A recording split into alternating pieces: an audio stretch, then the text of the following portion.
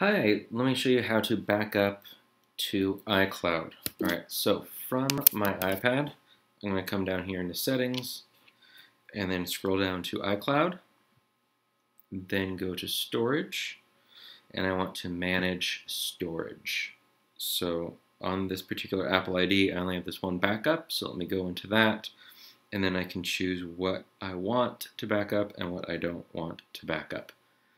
Once you're done with that, you can go back to manage storage, back, back, back, and then you can actually back it up under backup and backup now. And it's going to back up your iPad for you.